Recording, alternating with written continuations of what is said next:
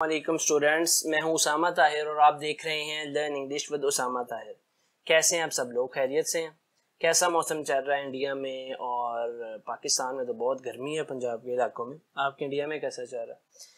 अच्छा आज का जो हमारा वीडियो लेक्चर है, वो ह्यूमन स्पीच की कुछ प्रॉपर्टीज़ को हम डिस्कस करने जा रहे हैं, जो कि रोबोटिक स्पीच से काफ़ी हद तक डिफरेंट है, बहुत ज़्यादा डिफरेंट है और इसी चीज़ को लेके हम कुछ लिंग्विस्टिक कॉन्सेप्ट्स को भी डिस्कस करेंगे। ठीक है विदाउट फर्दर डिले हम अपने वीडियो लेक्चर की तरफ़ चलते हैं।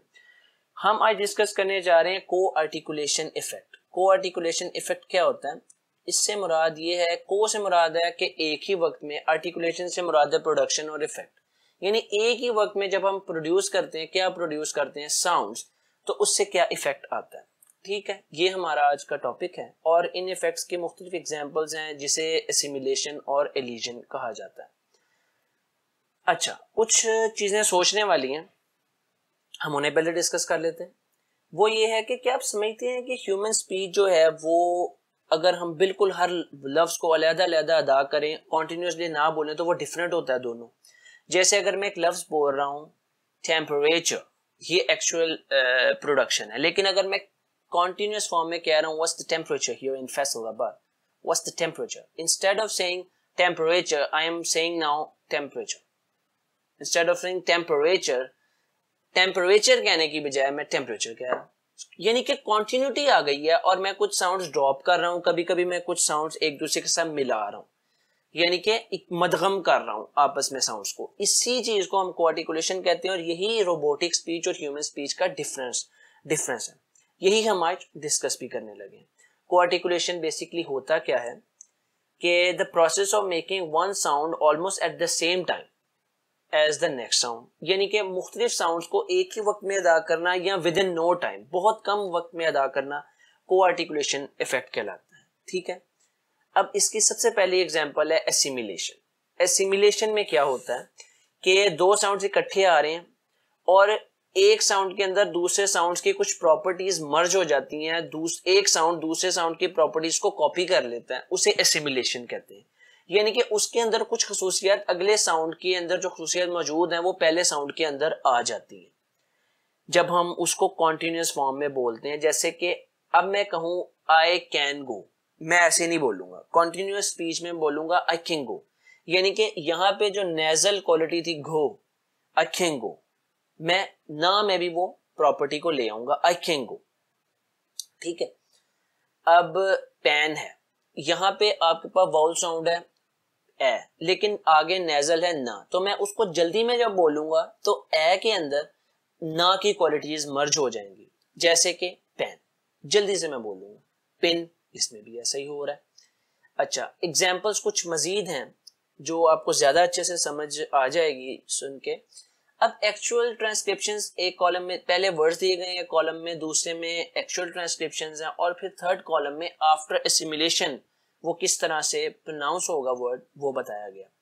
जैसे कि वर्ड है हैंड बैग एक्चुअल ट्रांसक्रिप्शन है हैंड बैग लेकिन ऐसे कोई भी नेटिव स्पीकर प्रोनाउंस नहीं करेगा, वो बोलेगा हैंड बैग बिकॉज़ वो उसको कॉन्टिन्यूस फॉर्म में जब बोलेगा तो वो हैंड बैग नहीं बोलेगा हैंड बैग ड साउंड जो है ब की प्रॉपर्टीज़ लेके हैम बैग हैम बैग क्योंकि ये बोलना ज़्यादा इकोनॉमी ऑफ़ स्पीच के अकॉर्डिंग बेहतर है।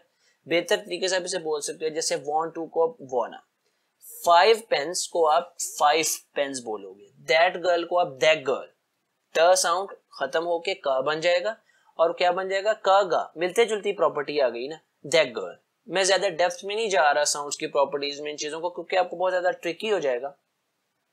सिर्फ़ ये बात है कि उससे मिलते जुलता साउंड आगे आ जाएगा ताकि वो जल्दी से साउंड जो है प्रोड्यूस हो सके और वर्ड आपस में मिल सके प्रोडक्शन के दौरान। अच्छा नेक्स्ट हमारे पास आ जाता है एलिजन एसिमिलेशन तो ये हो गया ना कि एक साउंड के अंदर दूसरे साउंड की प्रॉपर्टीज़ मर्ज होगी। एलिजन क्या है? कि वो साउंड मुकम्मल तौर पे ही इरेज हो गया उमिट हो गया इग्नोर हो गया। जैसे the process of not pronouncing speech sound that might be present in the careful and deliberate pronunciation of word in isolation यानी कि हम आइसोलेशन में अलहदा अगर वो लफ्ज को बोलें तो उसके अंदर वो साउंड मौजूद था। लेकिन जब हमने स्पीच के अंदर उसे यूज़ किया तो हमने वो एक टिपिकल साउंड को बिल्कुल ही इरेज कर दिया। ठीक है? उसकी कुछ एग्जाम्पल्स हैं जिससे आप ज़्यादा बेहतर तरीके से समझ सकेंगे कि हम कुछ साउंड को कैसे इग्नोर कर सकते हैं। एस्पेक्ट्स ट साउंड यहाँ पे टोटली इग्नोर हो गया। इन हम यू नहीं बोल रहे एस्पेक्ट्स हम बोल रहे हैं एस्पेक्ट्स यानी कि ट हमने टोटली उड़ा दिया, गायब कर दिया, इग्नोर कर दिया। ही मस्ट बी हम ऐसे नहीं बोलेंगे, हम बोलेंगे he must be he must be यानी कि ट इग्नोर हो गया। वी एस्ट हिम अच्छा अब यहाँ पे दो तरह की इलेजन हुई है। हिम का हा भी खत्म हो गया और ये ड भी खत्म हो गया। वी एस्ट हिम ड जो है वो टा में ट्रांसफॉर्म हो गया आप कह लें और आगे हा बिल्कुल ही ड्रॉप हो गया। वी एस्ट एवरी हम एवरी नहीं बोलते एवरी बोलते हैं। यानी कि एक आपका जो वाउल साउंड है अ ए जो है एवरी ए साउंड वो बिल्कुल ही आपने ड्रॉप कर दिया। कैबिनेट नहीं बोलेंगे कैबिनेट बोलेंगे। ठीक है? यू एंड मी अब यू नहीं बोलते यू एंड मी ड बिल्कुल ड्रॉप कर देते हैं। ठीक है? सो so, नेक्स्ट कुछ एग्जाम्पल्स हैं। एलिजन की मजीद। कंफर्टेबल नहीं आप बोलते, आप कंफर्टेबल बोलते हैं, यानी कि कंफर्ट अर साउंड अ साउंड जो आप वो बिल्कुल निकाल देते हैं। नेक्स्ट आपके पास साउंड है लेबोरेटरी आप अमेरिकन इंग्लिश में जब जाते हैं उसको बोलते हैं लेबोरेटरी लेबोरेटरी यानी कि आप लेबो लेबोरेटरी को बॉ जो अ साउंड इसमें आ रहा है, आप उसको बिल्कुल ही ड्रॉप कर देते हैं। टेम्परेचर असल वर्ड है, लेकिन आप पढ़ते हैं टेम्परेचर फैमिली एक्चुअल प्रोनाउंसिएशन है, लेकिन आप उसको एलिजन के बाद बोलते हैं फैमिली वेजिटेबल को आप वेजिटेबल बोलते हैं. फिफ्थ को आप फिफ्थ बोलते हैं. हिम को आप इम बोल देते हैं. गोइंग टू को आप घना बोल देते हैं. इट इज़ को आप इट्स बोल देते हैं. आई हैव को आईव आईव बोलते हैं. ठीक है? आप बिल्कुल हा साउंड ड्रॉप कर देते हैं. इज़ नॉट को आप इजंट बोलते हैं. अच्छा. अब कुछ चीज़ें हैं यहाँ पे एक्सप्लेन करने वाली कि हम ऐसा क्यों करते हैं? हम ये दोनों इफेक्ट्स यूज़ करते हैं सिमुलेशन और आर्टिकुलेशन क्यों करते हैं? क्योंकि स्टूडेंट्स जब नेटिव स्पीकर कॉन्टिन्यूटी के अंदर बोल रहे होते हैं ना तो उसमें एक बहुत इंपॉर्टेंट एस्पेक्ट है economy of speech economy of speech से मुराद ये है कि आप अपनी एनर्जीज को किस तरह से बचा सकते हैं, किस तरह से आप इकोनॉमिकली अपनी स्पीच को बना सकते हैं कि आपको अटकना ना पड़े। अब ये जितने भी हम साउंड ड्रॉप कर रहे हैं ना ये हमारी इकोनॉमी ऑफ़ स्पीच यानी कि अटकन और इस चीज़ को खत्म करता है। जैसे अगर मैं कहूँ कंफर्टेबल मुझे इकोनॉमी ऑफ़ स्पीच के अगेंस्ट जाना पड़ रहा है, मुझे अटकना भी पड़ रहा है और मेरी एनर्जी भी वेस्ट हो रही है। लेबोरेटरी को लेबोरेटरी ठीक है? टेम्परेचर कहने की बजाय मैं टेम्परेचर यानी कि स्मूथनेस इम हिम बोलने के लिए मुझे बहुत ज़्यादा इकोनॉमी ऑफ़ स्पीच के अगेंस्ट भी जाना पड़ता है और मुझे अपनी एनर्जी भी वेस्ट करनी पड़ेगी। इसी तरह जहाँ पे भी आई कैन गो मुझे बीच में एक डिसकॉन्टिन्यूटी लाना पड़ेगी लेकिन मैं नहीं लाना चाहता मैं कहूँगा आई कैन गो तो ये बुनियादी पर्पज होता है और यही जो दो फीचर्स हैं ह्यूमन स्पीच को रोबोटिक स्पीच से डिफ्रेंशिएट कर, कर देते हैं।